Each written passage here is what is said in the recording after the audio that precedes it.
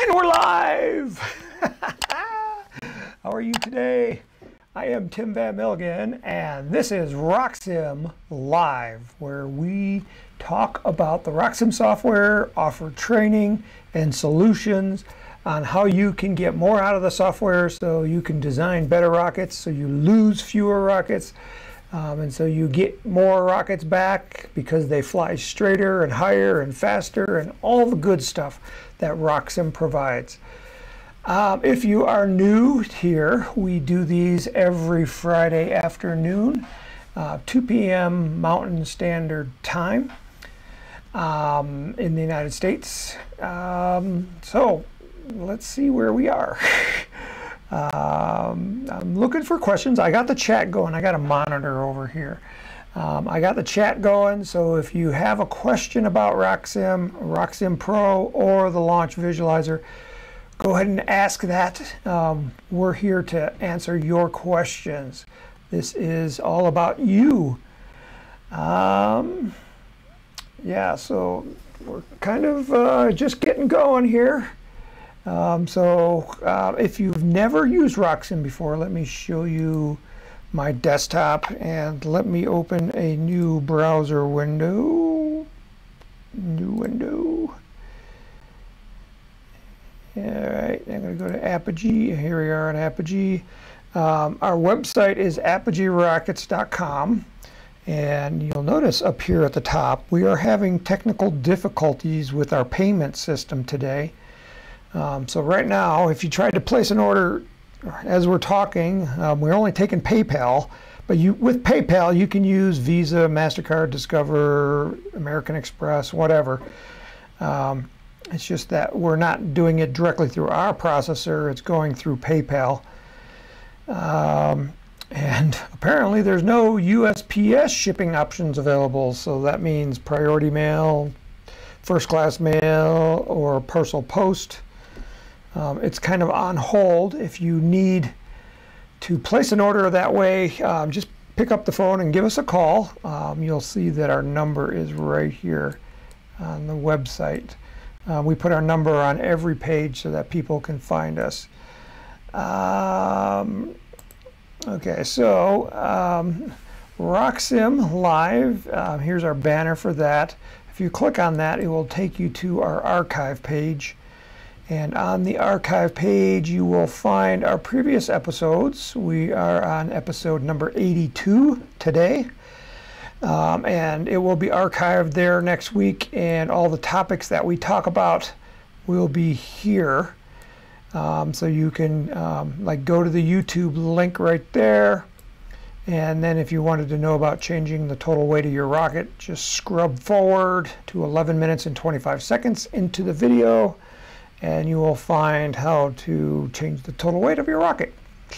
Um, if you'd like to download RockSim, um, you can go to How To and Guides, come down here to Software, and then over here is our menu for RockSim. So you can download the free trial here, purchase it here at Purchase RockSim 10. Um, you can see what the features of RockSim 10, our frequently asked questions, the system requirements, which is very important because Apple and Microsoft keep releasing updates. Um, and we're trying to stay current with the latest updates, but now some of the older versions are starting to drop off that we can't support anymore because we have to support the newer ones. Um, it's just, you know, the issues of dealing with Apple and Microsoft which is why we wanted to create the Launch Visualizer, which is in the cloud and doesn't rely on downloading software. So you just run it in the cloud and any web browser will do. You can use your phone, your tablet, or your desktop computer. Uh, there's also a version history that shows you what changes we've made over the years. Um, here's our tutorials. If you're just getting started and you're just cracking it open for the first time, Watch those tutorials, they're really good. Um, here's the RockSim Live training again. And there's also video tutorials for RockSim Pro because it's a little bit different.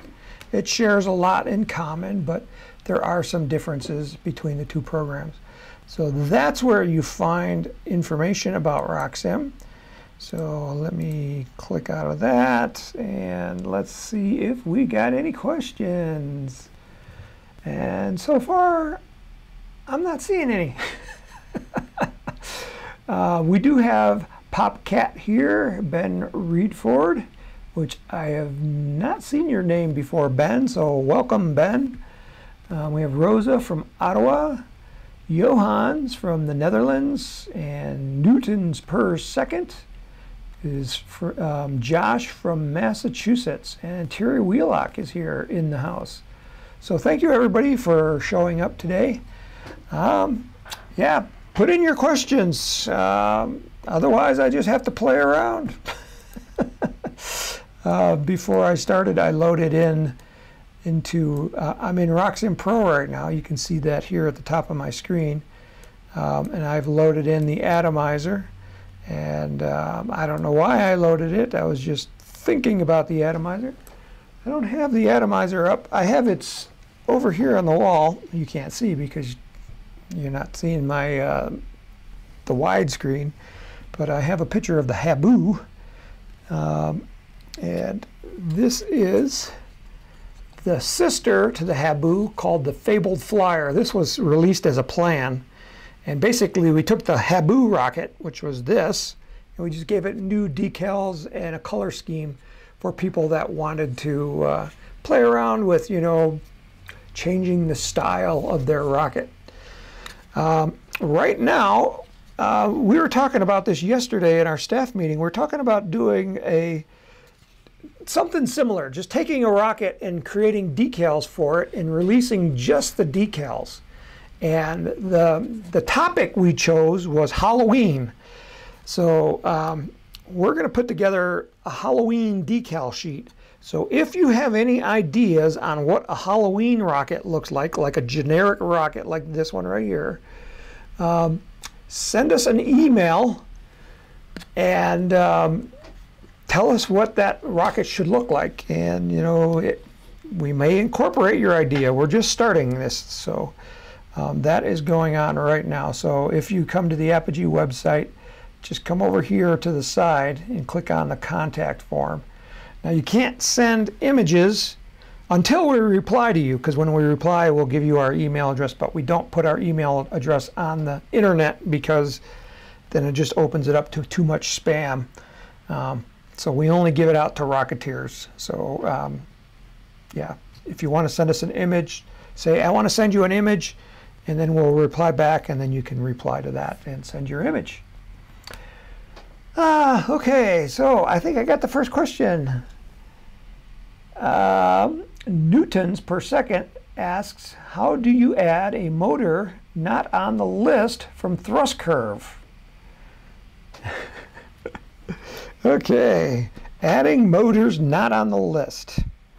Well, the first thing you need is the physical specifications of the rocket motor. So um, let me uh, do, uh, I'm going to search on the internet for thrust curve.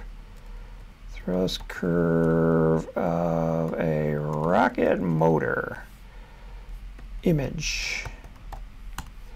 And here are some images. So I'm going to look at this one right here. Uh, well, actually, I'm going to look at this one.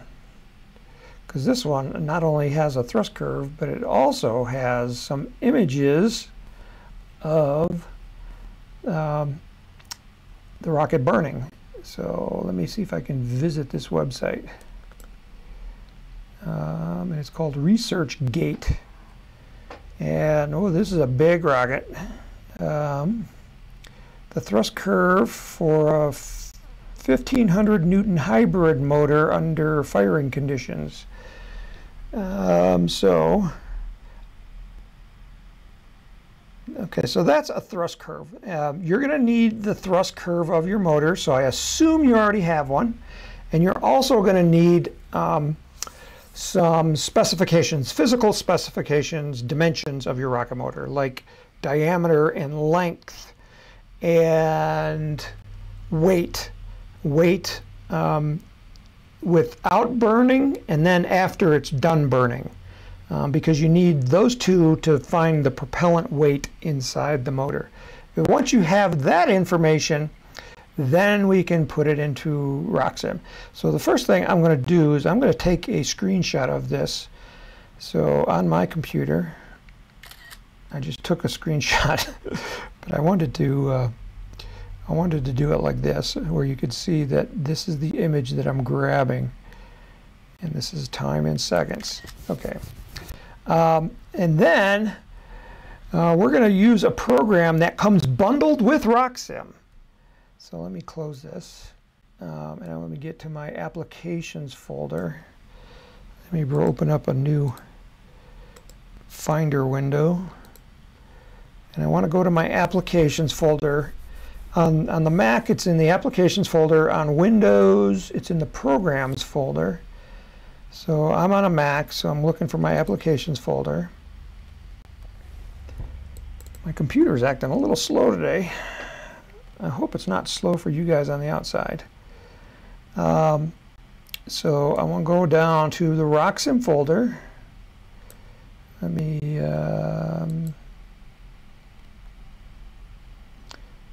is it by date? Is it by date? I don't know what I'm doing. Date. Um, let's resort it.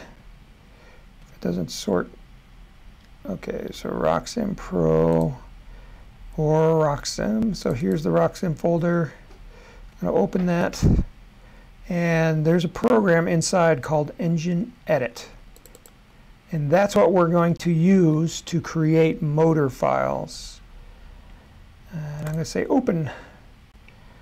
It's been a long time since I opened this program.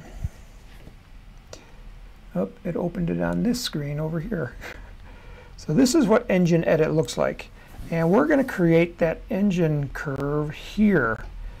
Um, but uh, we can do it from scratch. Let me find that image again.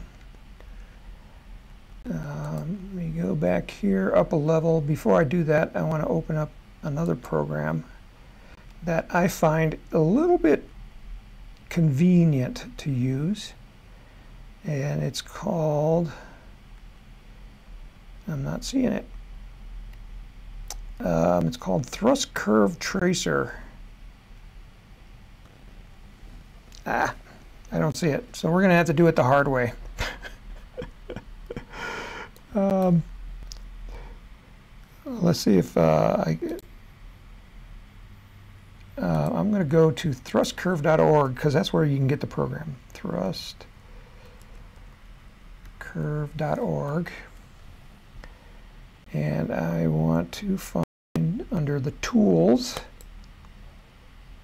I want to create motor files. Okay, so here's the thrust curve tracer program. And here's the download options are at the bottom of the page. Download this version of Universally Binary. This was tested on 10.5, but should be, work on any image, any version of OS 10. Okay, so it downloaded it. And I'm going to open it up. This, this I find this little program is very convenient to use, which is try to why I'm trying to see if I can get it working. The last time I tried to download it, it did not work for me. Okay, so there it is. Uh, yeah, that's kind of like useless for me. Open downloads. See, it's got it's got a, a little lock icon on it. Come on, open.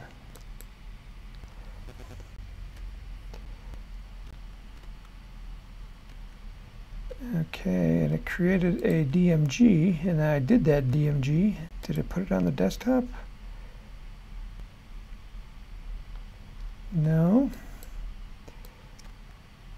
TC Tracer. TC Tracer.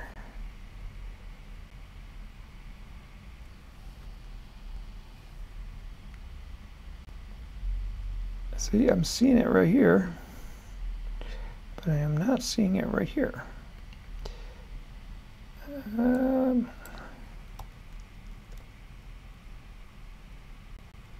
dot RTF.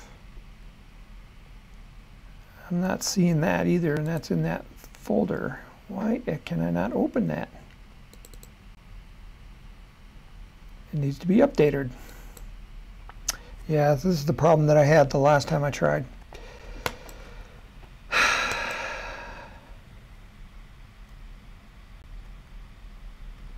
I could try the Java version. I'm not going to do it. I'll just I'll just do it the old-fashioned way.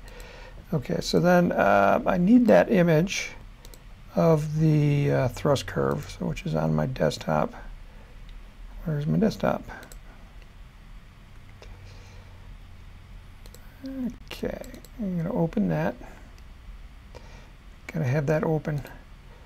So, all right, so this is what we're going to create. Let me see if I can get both of them on the same screen here. Okay, so we're going to create the thrust curve down here based off of this information right here. Um, so I'm going to start in Engine Edit by clicking the button that says Add New Engine. And I need a, it's asking me for a burn time limit. And my limit here, I can see it right here, is 5 seconds.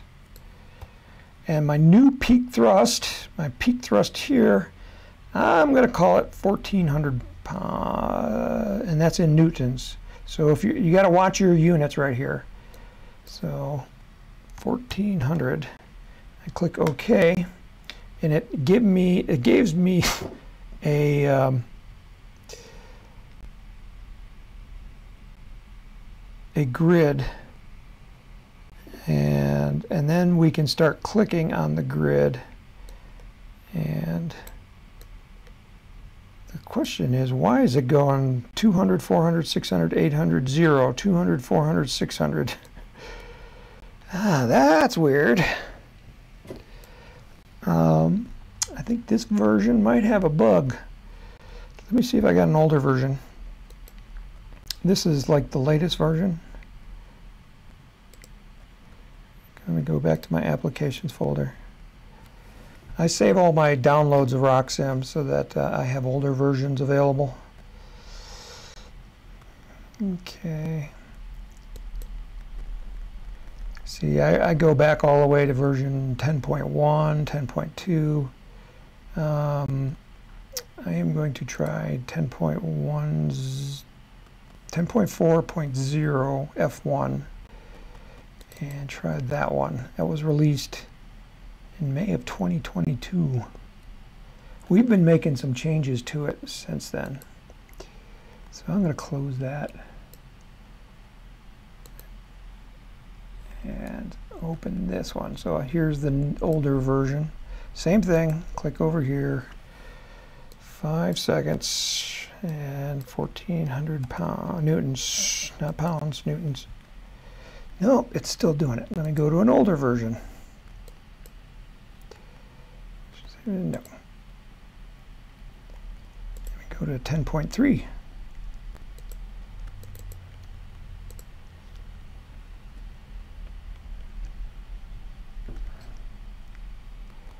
Still launching it here. Add new engine. Five, 1400 newtons. Okay. That's better. My chart is right now. Okay, so now, once we got that correct, and we will, I will get with the programmers to get that fixed. Uh, it should be a quick and easy fix. It's just somehow these are labeled wrong. Um, so now we're going to draw this curve here. So then it's kind of like picking points off of it. So um, you can see here I got a half a second um, we're at about 1100. So here's a half a second, here's 1100, and you can just click on it. Um, you can see it's five seconds way out there. Let me shrink this a little bit so we can see the whole thing. Um, yeah, so it's burn time is five seconds, and then we just have to match this curve. Um, and this curve is pretty flat, and then it starts um, around two seconds, it starts falling off. Oops. Uh, so I take this point, oops, I'm adding points instead of dragging points. Um, and it, it, it kind of tails off like this. Um, so if you, if you make a mistake, what you can do is you come up here to view and you go to time ordered data and it will bring up a chart that lists all the points. So 0, 0 is right here. Here's our first one at 0.44 and if you want to tweak it we can go 0.5 and when you hit the tab key it should shift over a little bit um, and then you can you know type in a new thrust level. Um, and like this point right here just under two seconds. Um, I got I got two of them that are really close together. That's probably 0.5 one two three four five. Um, I can delete selected data so I can select that row and delete it and it deleted that point right from there. So what you're going to do is going to create your thrust curve like that based on your measured thrust stand data. Um, and then you need to add in your information. So this could be RockSim Live is the manufacturer and it's going to give me my total impulse right here uh, for that motor. What's that? Um, what's the impulse of different rocket motors? So we can go to maybe like the NAR website, nar.org, and see the impulse of rocket motors, rocket motor information.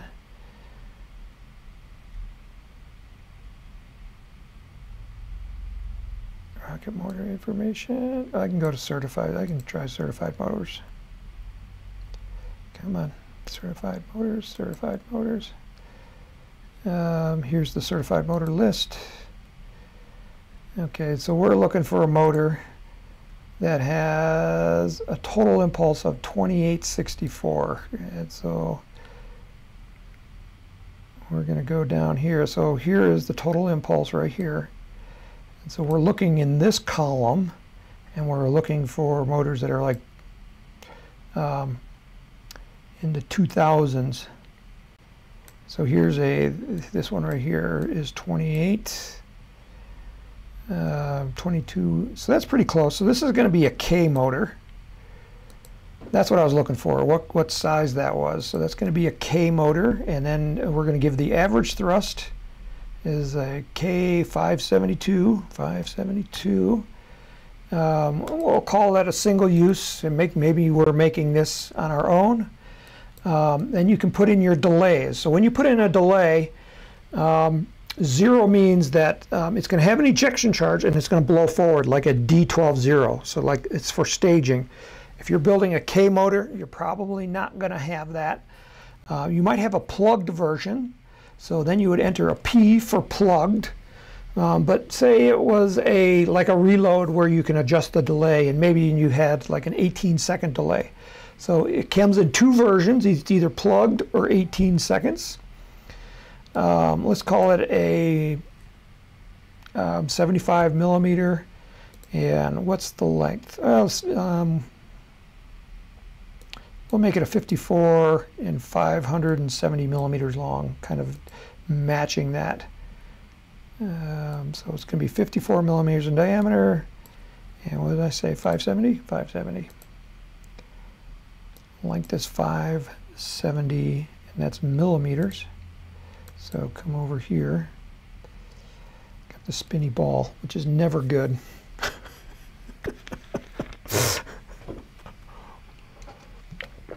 I think it's crashed.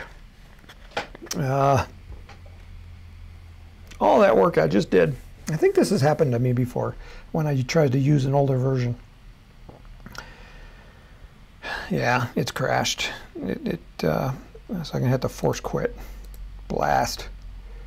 Uh, where's my force quit? Here it is right there.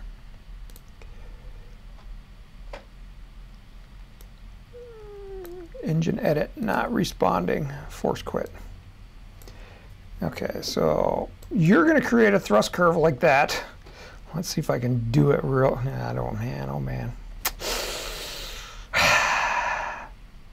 You do that part. uh, and then you got to bring that into RockSim. So you'll save it. Blast it. I'll try one more time. Uh, let me see if there's any messages here. uh, we were talking earlier about a Halloween rocket, and Johan writes uh, flying pumpkins. Um, and Johan also writes, I did that by messing up an engine file in Notepad, newtons per second. Popcat says, can I get my level 2 certification with my Zephyr rocket? Um, the answer, Popcat, is yes, but that's not what we recommend because um, it's a really high thrust motor and it's a 38 millimeter. For, for level 2, we recommend a 54 millimeter because that brings the thrust level way down. It's less stress on the rocket, less stress throughout the entire flight, um, and we want to we want to get you certified. So I would suggest using like the Katana as your certification rocket, and then using the Zephyr later to fly J motors. Um, and it's going to go really high. Um, so you know, set yourself up for success first before you try to use. Everybody wants to use one rocket to do everything.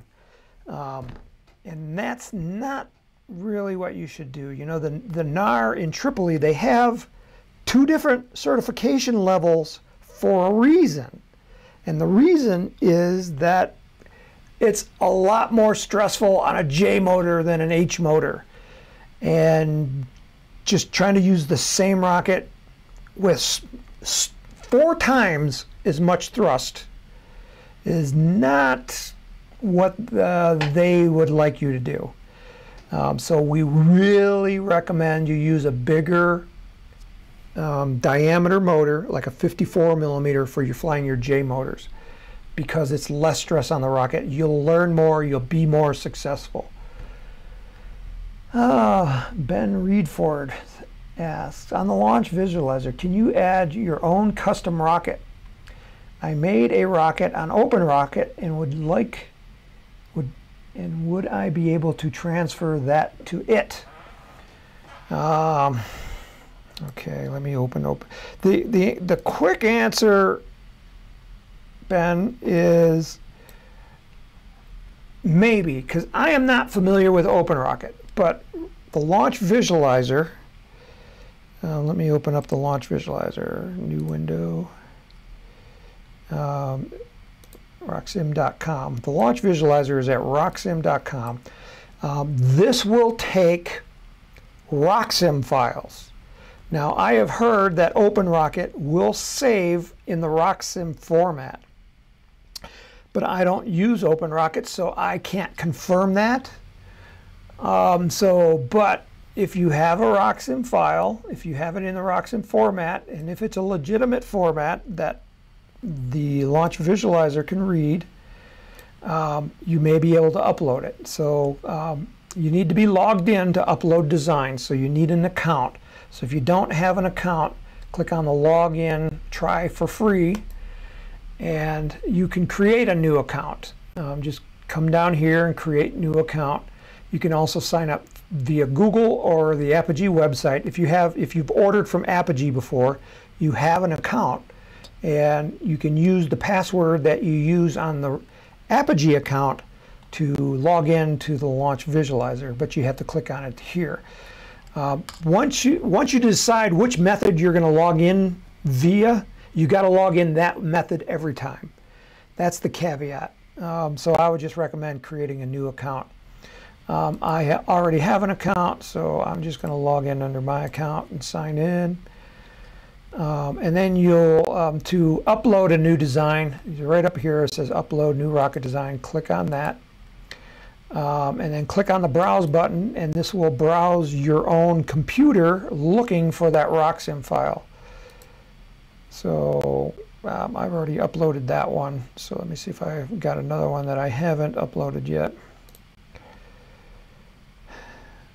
Um, Centuri Jayhawk. I don't think I've uploaded that. Okay, so um, it will put the name in here and you can change the name if you want. And then hit upload. And what it does is it pulls it from your computer and puts it into the cloud in the storage area that we reserved for you. So not everybody has this file, it's only you. Uh, when it's done, it'll be you'll get a message and then it will load it right here and you'll see it sitting on the launch pad. So there's the rocket and this is three dimensions and you can look at it from any direction and I got a little remnant problem going on with this little fin right here um, but this side looks good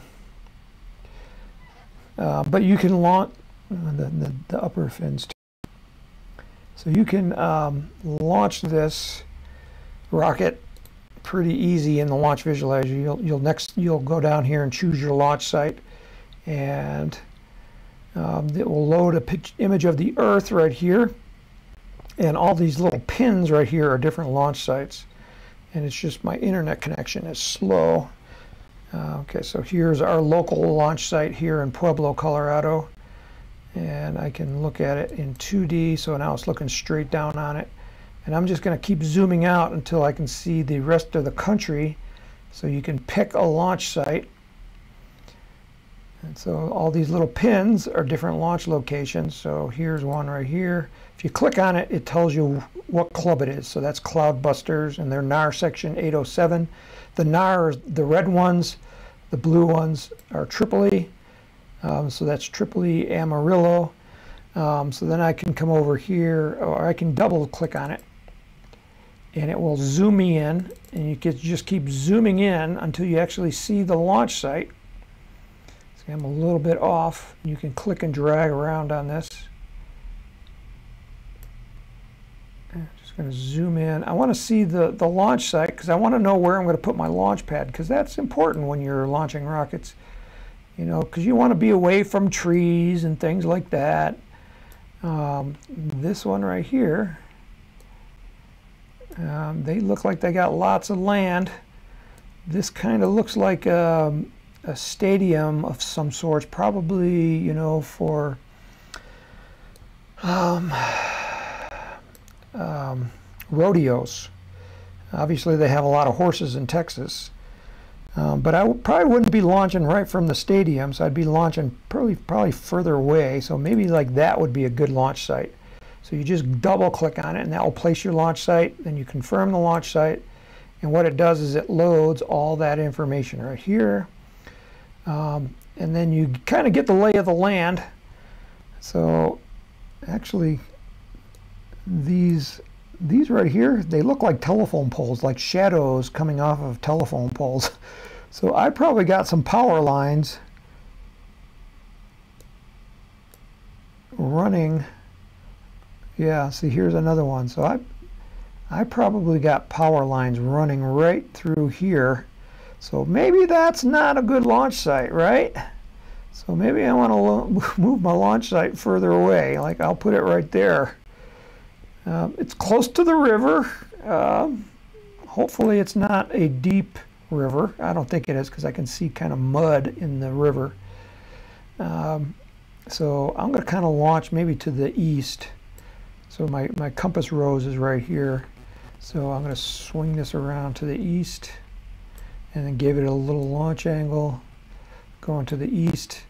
Um, I'm just going to select an engine real quick. Um, so it's telling me there's a 24 millimeter motor in here and then choose an engine and it will bring up a database and let's like choose an Aerotech E28 select the delay give it a seven second delay click OK um, I check the parachute. Um, it does have a parachute in it. And it's set for deploying at maximum ejection delay. And then once you get all that set up, you can hit launch, which was right down there, that button. And it tells me how many credits I'm going to use to simulate this. And I'll just go ahead and simulate. And while it's uh, running, let me just check here. Um,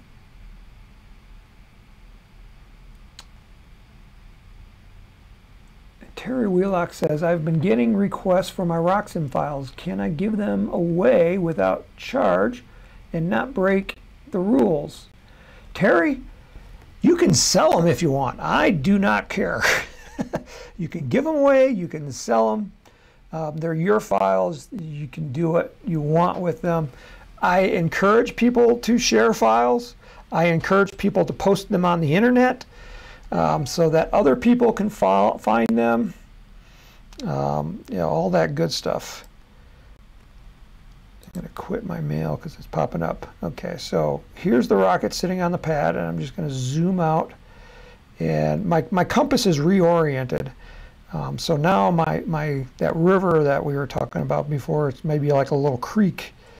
Um, it's right there where the launch the, the, launch pad is right there. It's a little hard to see, but that's where it is. Um, and we'll go ahead and click the launch button and see the rocket take off. So we're seeing some smoke come out. I can see in the large view right here uh, what the rocket's doing. And it's kind of weathercocking into the wind. You can see it's kind of arcing. It's arcing a lot. I like this one um, it because it's really showing what the, the launch visualizer can do. You know, you want to see what your rocket's going to do when you launch it. And um, we're at seven seconds, and we should be seeing the parachute. There it is, right there. It just popped out. It just reoriented the rocket, and now the rocket's coming down. Um, I would like to see, you know, the, the trajectory path. So I can come up here to settings, click on that, um, I want to show the apogee point. I want to see the trajectory path. And I want to see the extruded path and the ground track. And click OK. All right, so now I'm going to pause it. And I'm going to zoom out a little bit. And you can see this is where the launch pad was. And it started going towards the east. Let me, let me swing this around so north is more to the top of the screen so you're not disoriented here.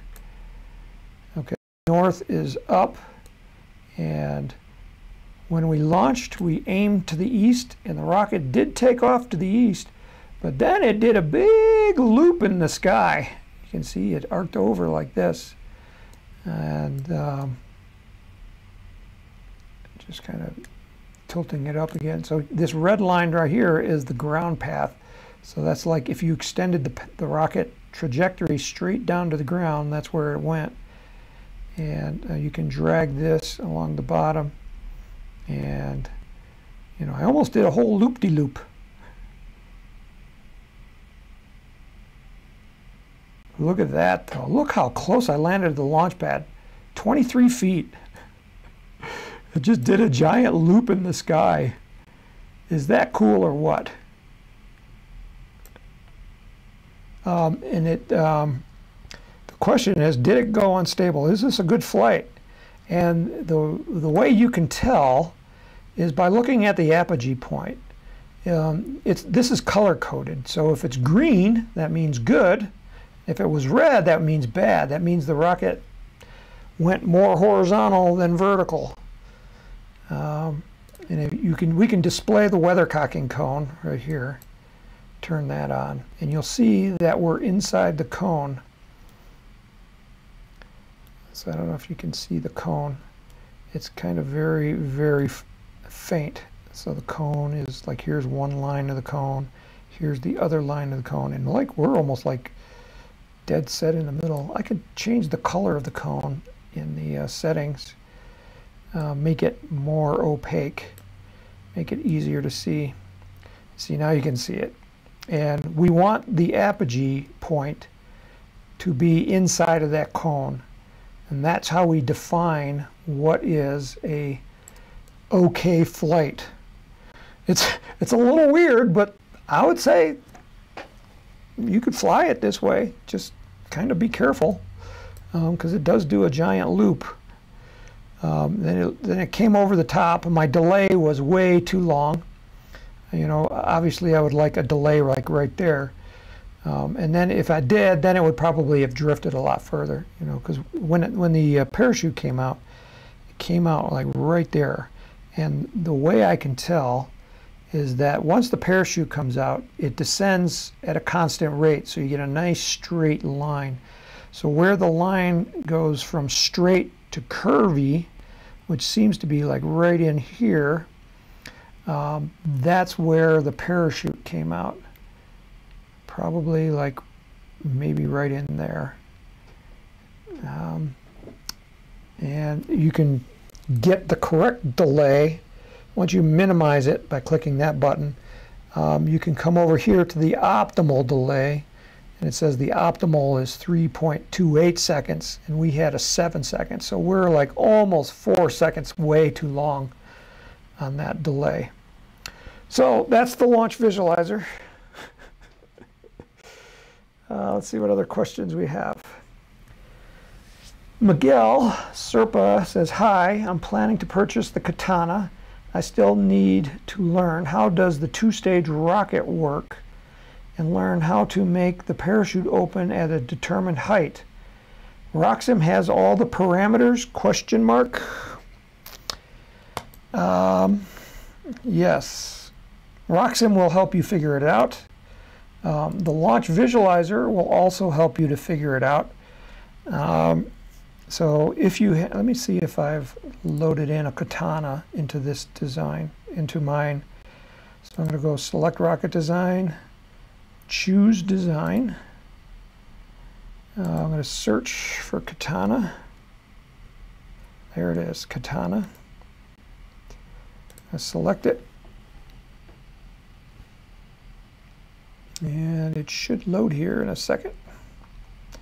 Come on, katana. There it goes. Like I said, my internet's slow today. Okay, so there's the katana sitting on the launch pad, and it's at an angle because it remembered our last settings right here. So, um, Miguel, um, this, you're going to do the same thing in RockSim that you'll do here on the launch visualizer. So you can do it on the launch visualizer or RockSim. It doesn't matter. Um, if you need the Katana file, it is on the Apogee website. So if I go to the Apogee website and I do a search for Katana, you just have to start typing and it will find it. Click on that. And then here's what the Katana looks like. And if you just scroll down a little bit um, where it says RockSim file, right here, click on that and it will jump down to the bottom of the page where the RockSim file is so that you can download it here or here. Um, so you can download it and then you can upload it right back into the launch visualizer.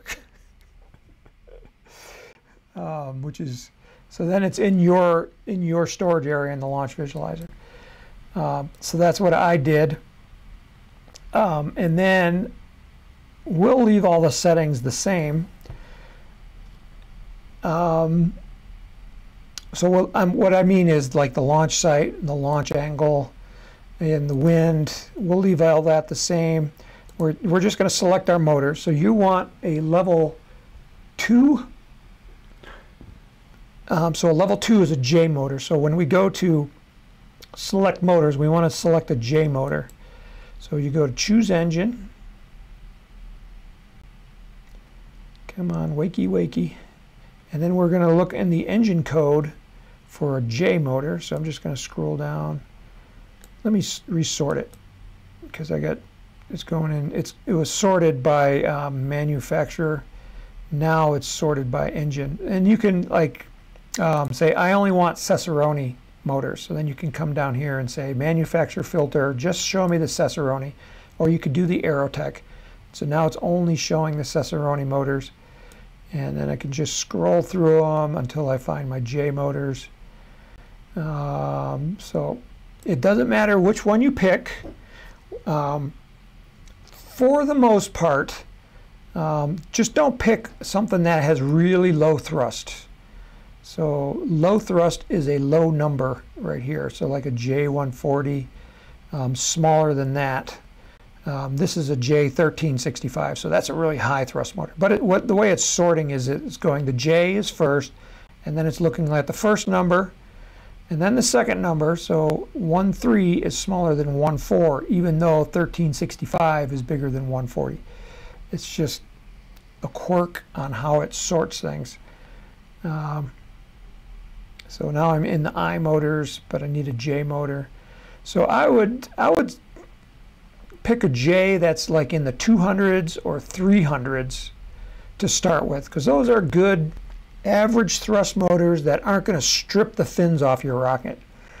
Um, you want to, you know, you want to stay kind of um, low to medium thrust, but I mean, not so low like a really long burn motor, like an eight second or nine second burn motor, because that that thrust is a little bit too low.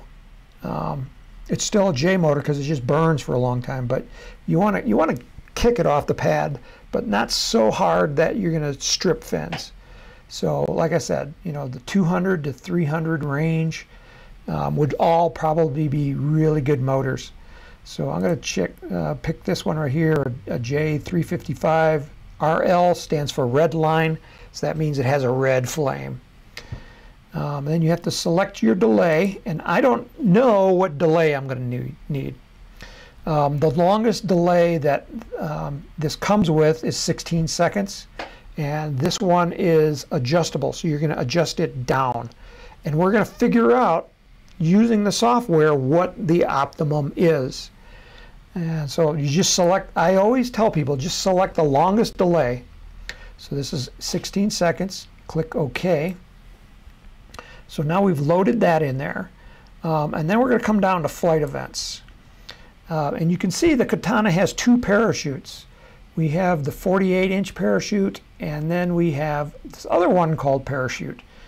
Um, the unfortunate thing is I don't know what size that is. I'm assuming it's the smaller parachute. I hope it's the smaller parachute, but we'll find out when we run our simulation. Because if it's a big parachute, the descent rate is going to be flat. You'll see it as you know as it as the wind starts carrying it downrange. If it's kind of like going more horizontal than vertical, then you got a big parachute. Um, if it's coming down more vertical, then that's the drogue chute. That means it's falling fast. It's just falling like a rock, which is what we want. We want it to come down fast, and then when it gets closer to the ground, we release the big parachute, and that will slow it down for landing. So we want that to come out low to the ground so that um, it doesn't drift as far with the wind. And this is why we use dual deployment, so that it doesn't go so far, because nobody likes to walk. Um, well, you know, you might like take a walk, but when you're out on a launch range, you want to go be flying rockets, so you want to get back as fast, fast as possible. So when you're on the launch range, you don't want to walk. Um, okay, so then we have to tell it when these parachutes are going to come out. So this small one, we want that one to come out at apogee. So you'll just go to the event description. So this is the flight event. And we're going to say deploy at apogee. And then for the main parachute, we're going to say deploy at a lower altitude. So we're going to say deploy at an altitude, and then we have to tell it what altitude that's going to be. So in the real world, you're going to set this with your electronics on your altimeter. And typically they're set anywhere from a low of about 400 feet to all the way to 1,000 feet. So deploying at 1,000 feet, you're going to have a longer walk. Deploying it lower, a shorter walk. You don't want to deploy it too low, like at 100 feet.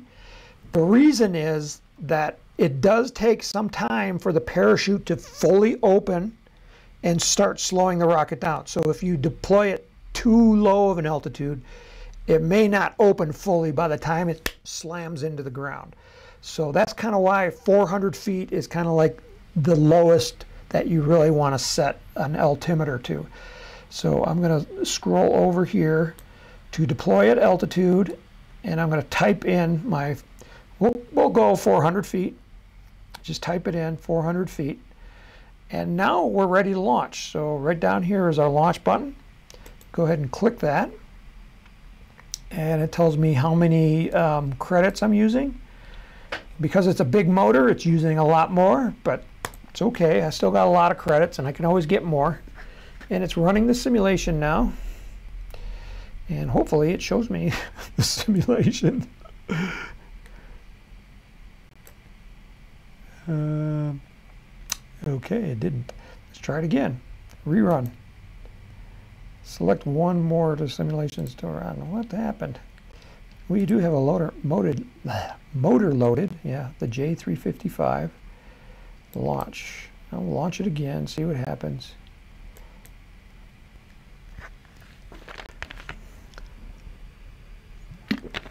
Huh, it kind of hiccuped on me. Um, so if that happens,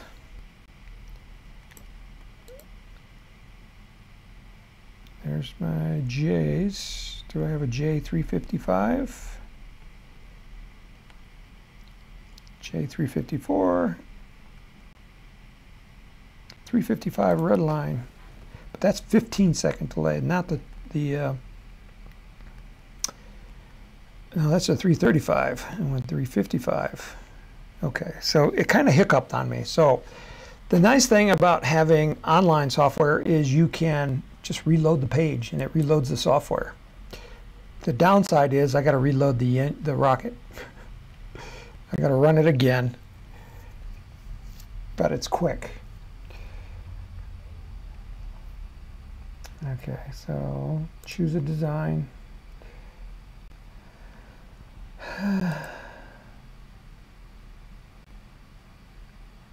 it's not seeing me. Come on, wakey wakey. It's still loading in the background. That's what's going on. Like I said, my internet is slow today. This is usually a lot faster. I can see I can see I'm still logged in. So that's not the problem. Um, select rocket design, choose a design. There we go. Now we can do katana. Select it. So I'm just going to do this really fast. Got to select my launch site.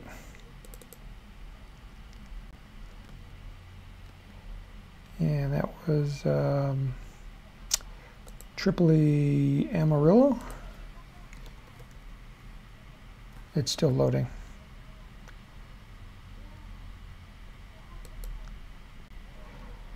Uh, let me see if there's any other questions. Um, Yo, Johan says, I want Michelle. I got to spell Tripoli right. Tripoli. Amarillo. Okay. And it will move me to Amarillo. It's loading the map. Yeah, Michelle is, uh, she's much more patient than I am. okay, so we're at that launch site again. So I need to move my launch pads, get them away from these power lines. This is the advantage of the launch visualizer and being able to see, uh, you know, features like that. So I got a I got a tree here that looks like a scrubby tree. So I'm okay there launching there. So I'm going to say that's where I'm launching. Um, and again, we're going to aim it a little bit to the east, not much. Um, and swing it around to the east. And choose an engine.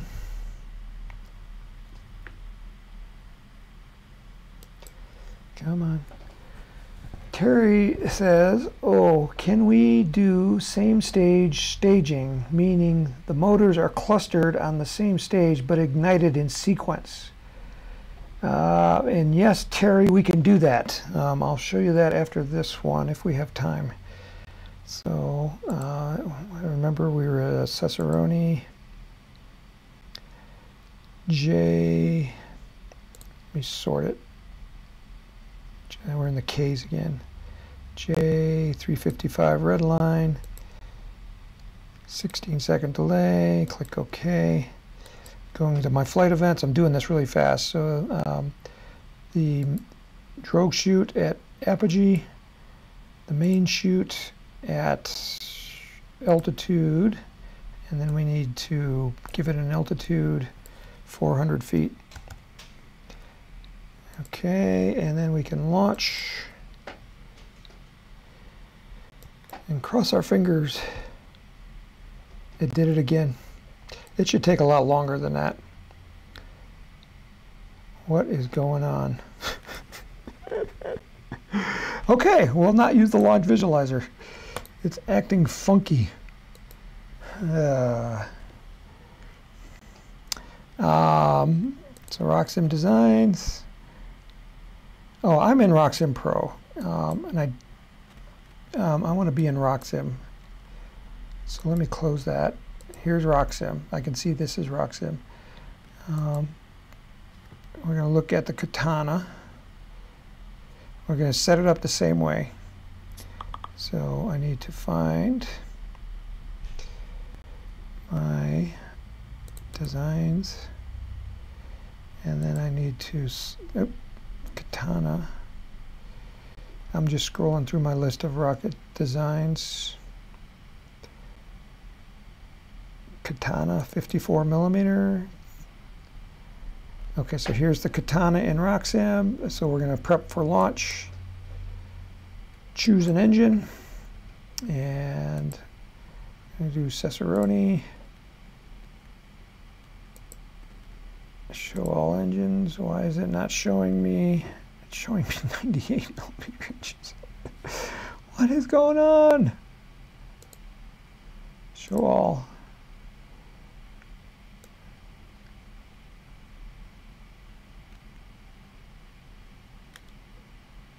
And show only that match. Okay, it's only showing me the Aerotech motors. I've lost my Cesaroni motors. All right, so we'll we'll choose a K250. Somehow my database got jacked up. Um, and we're going to choose a custom delay. We'll choose 18 seconds just for the delay. Click OK. The flight events. Okay, so we got an 18 inch drogue and we want to pop that one at apogee and the main one at 400 feet. And well, let's take a look at our simulation. Starting state, we need a 98 inch launch rail. Uh, we're going to go a few degrees off of that. Launch conditions, we got an 8 mile an hour wind, and we just hit flight profile. So you can see that the motor is loaded. That K motor is long. It's running the simulation. And it's now loading the 2D flight profile. So here's the rocket. See, the advantage of the visualizer, it's everything's in 3D. In RockSim, it's only 2D. So you don't get the lay of the land and where that creek was or the power lines or that scrubby tree that was near us.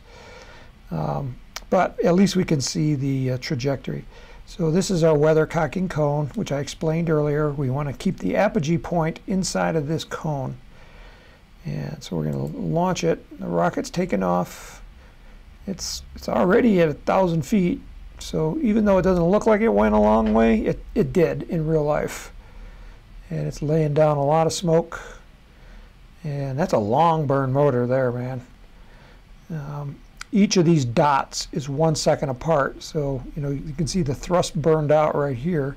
So that's one, two, three, four, five, six, seven, eight, nine, almost 10 seconds of burn. That's a really long burn. But the rocket went really straight, so that's good. And now the drogue parachute is out and it's falling pretty fast. Like I said, if the drogue is going more vertical than horizontal, or the parachute, then we can tell that's that's a small parachute because it's it's just the rocket's heavy and you got a small parachute, so of course it's going to come down fast. Um, but fast is relative. We're already at 55 seconds and it's still way up in the sky. It's at over 8,000 feet.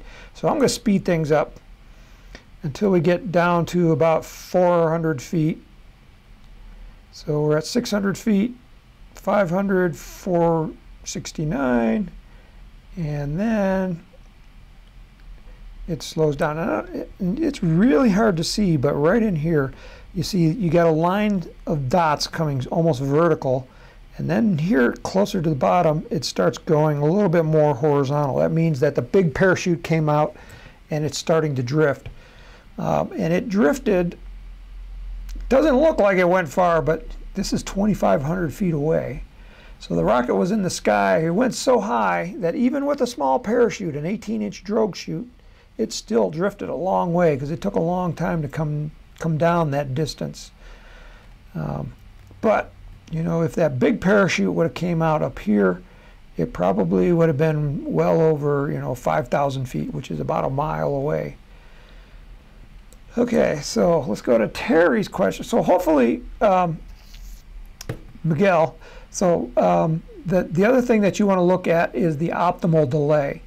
So um, we had that set at 18 seconds, but it tells us our optimal delay is 13 seconds. So on our um, our drogue parachute to pop out at apogee, it would be 13.39 seconds that we'd adjust the delay to. Because we're using the motor engine as the backup delay, you're going to have a dual deployment altimeter in there, and it has an apogee charge and a main parachute charge. And we want our apogee charge to come out about the same time that the ejection charge in the rocket motor fires. About the same time. They're never going to be identical. So one is a, one's going to fire first. Either the, the apogee charge and the altimeter is going to fire first, or the main or the you know the ejection charge and the rocket motor is going to fire first. And it's going to push out the drogue chute. So once the drogue chute is out, and if and the other ejection charge fires, it doesn't matter because it's just blowing out through a, a, hollow tube. So it's just venting out into the atmosphere, and it, there's, it doesn't do anything, but it's a backup. We need to have a backup. So um, because the worst thing that could happen is nothing comes out, then the rocket comes over the top, and then it just comes screaming in the ground, um, and it's going to put a hole in the ground. And uh, we hope that there's nothing underneath that hole. or nothing on top of the hole that it's going to make. Um, so that's what you're going to set your um, delay to on your rocket engine. And then you can see how high it went. It went 11,561 feet on that K250. You're going to have a, a J motor, so it's going to be it's going to be lower. You know, you can see a J motor is, is less about half of what the K motor is. Okay, all right, let me get to Terry's question. Uh, Popcat says, My new school is Colorado Skies Academy, and it is a flight and aviation school. Well, Popcat, that's awesome. School is just going to be starting here soon. I know here in Colorado Springs it starts this week, this coming week. Um, so my daughter's going back to school. Um, Terry Wheelock says, we want the new GPS return parachute so we don't have to walk. The rocket comes back to us. Terry, we're still working on it. In fact, I was working on it today before the uh, before this event. It's unfortunately it's not going to be GPS, but it is going to be radio controlled. And the reason it's not GPS is because of um, the chip shortage from the pandemic. You know, computer chips. We just can't get the chips right now to make the GPS version. So it's going to be RC version. So RC means you got to supply your own radio, your own servos, and receiver and battery, and a charger. Um, so if you have RC radio gear, if you've done any types of RC, you know, even car RCs will work because we're only using one channel. We're just turning left or right. Um, so basically you're going to fly it back down to yourself. It's going to be a little bit trickier than GPS, but um, you know, it's going to be fun because you're not going to have to walk so far. Um, but that's still coming. We're working on it. Um, we're getting closer and closer, but I don't have a date yet because there's still a couple of components that we're missing. Um, Okay, Johan says, time flies when you're watching RockSim tutorials. That's good. Um, Johan says there must be giant sequoias in the background. okay, and Miguel says, thanks, that's excellent. Okay, so Terry says, can we do same stage staging? So basically he's, he's talking about clustering. Um, so we need a rocket that has cluster motors. Um, the Lock Ultimate has cluster motors. So let me see if I can find the Lock Ultimate.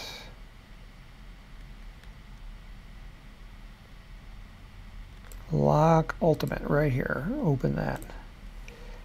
And save changes? No.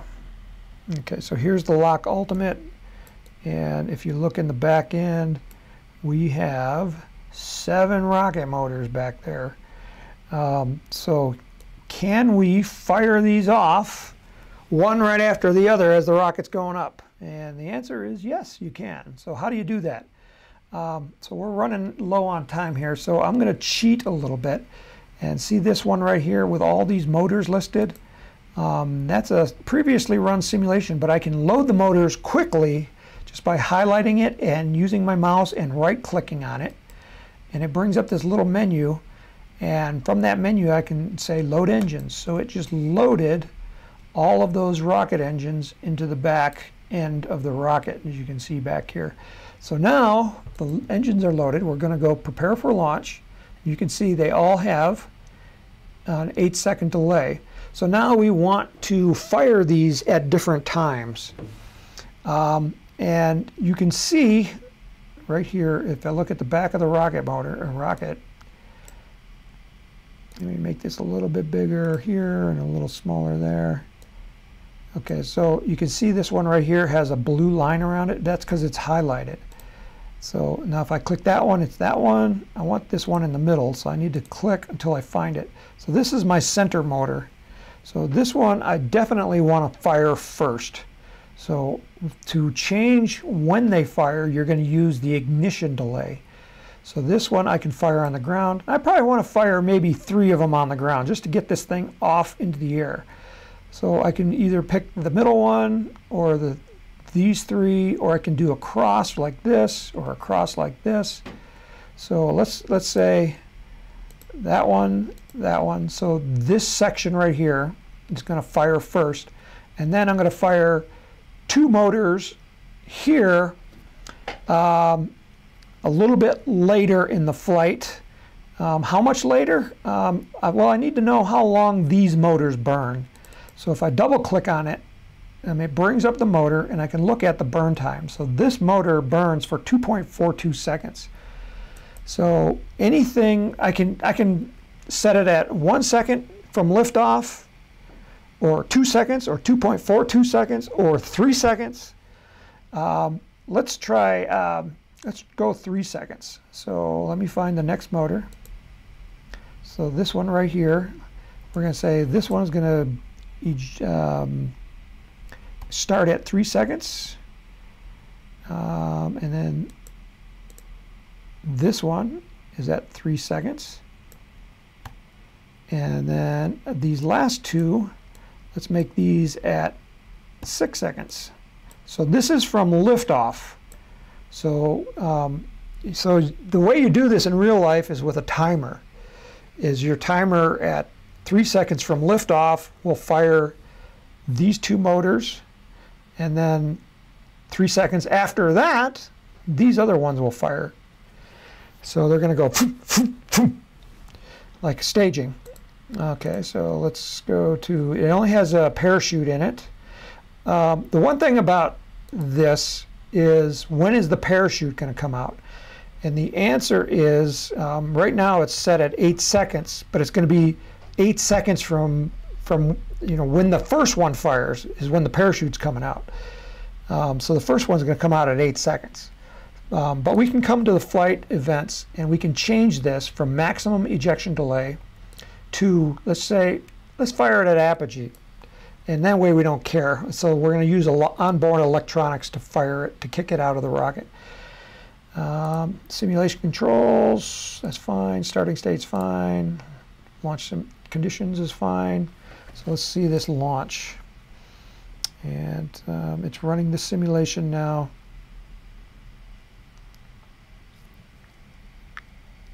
Okay, so here's our rocket down here. And we launch it. Rocket takes off. In 2.42 seconds, it burns out. You see the little gap in the smoke. Another little gap because it was coasting. So we got foomp, foomp, foomp. um, and that's why I chose a little bit longer delay because I wanted to see that gap in the smoke. And I'm just bringing it down to the ground. You can see that this one Um, it's going to land, you know, 733 feet away. If I cancel it, I can see how high it went. It only went almost 2,000 feet. Um, so that is delayed staging or uh, delayed clustering. Um, and you can do this, you can have multiple stages and each one of them is a cluster. And so you can, you know, imagine um, seven motors in each stage. We have one rocket kit. It's a um, U.S. Rockets. Uh, what is it called? That has it's a two-stage with clusters in it. So I want to go to shopping and view rockets by manufacturer. And I know it's U.S. Rockets. I just can't remember the name. U.S. Rockets could be high test 3100. Yep, this one right here. So this rocket um, has a cluster of four rockets in each stage. So you could do, on the bottom stage, you could fire two to get it off the ground, and then a little bit later, the next two fire, and then it stages, and then two more fire, and then two more fire. So you get four little things of smoke going up into the air. Um, this is this is a um, this is a challenging rocket. I would not recommend this to anybody um, that doesn't have a lot of experience because it's just setting it up and setting up the electronics and trying to do it. Um, it's hard. Um, so, so basically, I would say don't even try to do that delayed because it's it's just gonna. There in in the booster stage, there's just no room to put the electronics.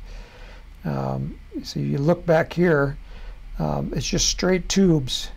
There's no room. There's no way to put electronics in there. So um, yeah, so I would just use all of the same four motors in the bottom stage. You could do it with the top stage. Um, the electronic wires have to come down in the middle of the tubes. You can see here they come from the middle and then they come around the side. It's a challenge. It's definitely a challenge, and it, it, I, I would not recommend this unless you are really experienced. Um, so anyway, we are a little bit long, and I didn't, uh, that first question with the creating a thrust curve and loading that into RockSim, I apologize because, you know, it crashed on me and I tried, I had to figure out why that's not working and hopefully ask the same question again next time. Um, who was that? Um, I forget who that asked that.